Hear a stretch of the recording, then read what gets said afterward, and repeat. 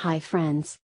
ITC Limited's Dairy Development Initiative, Corporate Social Responsibility or Shared Value? This case is about leadership and managing people.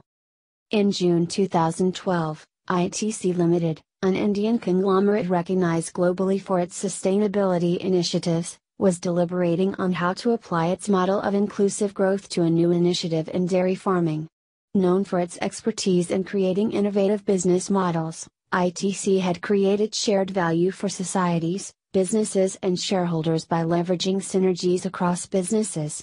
However, the expertise required in dairy farming was unexplored, logistical issues loomed large, and a lack of clarity surrounded the dairy development's integration with existing ITC businesses. Because of the complexities involved in diversifying and expanding to a new sector, ITC's chairman and his leadership team wondered whether they could once again create shared value.